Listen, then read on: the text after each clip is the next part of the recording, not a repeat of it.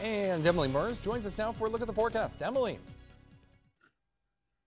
Well, we've been seeing heavy rainfall throughout the last couple of days, bringing a lot of widespread flooding around our region. Now, the good news is we are going to be seeing drier conditions starting tomorrow and going on through the majority of this week.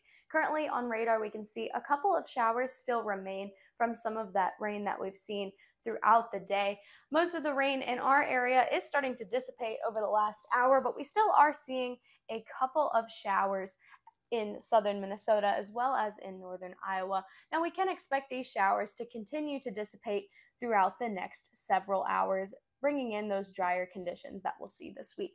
Here is Doppler estimated rainfall. This is what the radar thinks the rainfall looked like over the last 48 hours.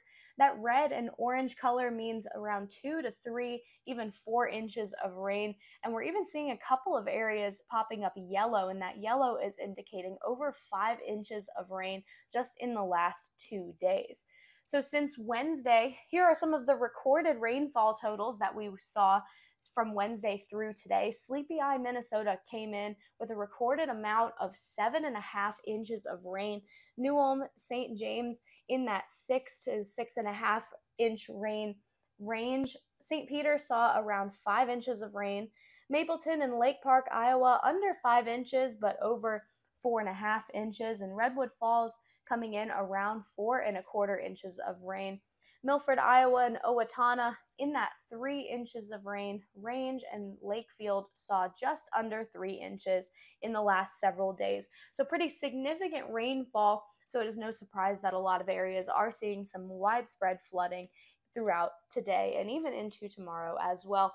But, like I mentioned, the good news is starting tomorrow and through Tuesday and Wednesday, we're going to be seeing drier conditions. We do have another rain chance on Thursday, but it should be a lot less significant than what we've been seeing the last several days. And we will have some sunshine before then that will hopefully help to dry out some of that rain that has fallen. And then we'll be in dry conditions again as we approach next weekend and even going into that following week.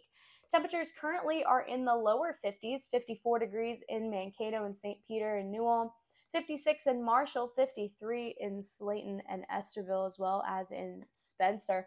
Now, high temperatures today, we're in the mid to upper 50s, a couple places seeing 60s as well. 65 as the high in Glencoe, 62 the high in Redwood Falls, as well as in Spencer, 64 the high in Algona, and 61 in Forest City. Now, we just saw 56 degrees today in Mankato. So, tonight we're expecting a low of 45 degrees, mostly cloudy out there with a couple of showers throughout the next few hours, but then clearing out as we go through the overnight. Wind from the northeast. Tomorrow, a high of 69 degrees will be warming up back into the mid to upper 70s throughout the next several days. Partly cloudy conditions. As we look at the extended forecast, we can see good amount of sunshine throughout the next several days. Temperatures in the mid to upper 70s. Scattered showers on Thursday, but then drying back out in time for that following weekend, which is definitely much needed after this past week. That's all I have for weather. Sports are up next after the break.